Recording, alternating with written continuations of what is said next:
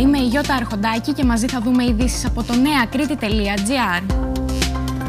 Δύο μέρες μετά τις εκλογές και εκλογικοί σάκοι που δεν παραδόθηκαν από όλο τον ομό Ηρακλείου αναζητούνται. Οι αντιπρόσωποι φέρεται να επικαλέστηκαν άγνοια για τη διαδικασία που ακολουθείται.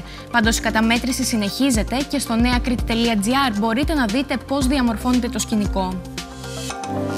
Με αίμα βάφτηκε ξανά η άσφαλτος της Κρήτης. Ένας 27χρονο που τραυματίστηκε σοβαρά σε τροχαίο στο ύψος των λιμνών, υπέκυψε τελικά στα τραυματά του με την κατάσταση να κρίνεται εξ αρχής βαρύτατη. Στα μαύρα ντύθηκε άλλη μία οικογένεια.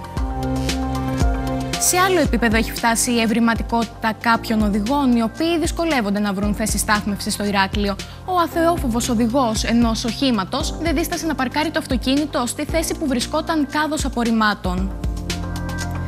Για ειδήσεις από την Κρήτη, την Ελλάδα αλλά και τον κόσμο, πληκτρολογήστε νεακρήτη.gr από το κινητό, το τάμπλετ ή τον υπολογιστή σας. νεακρήτη.gr. Η ενημέρωση στα χέρια σου.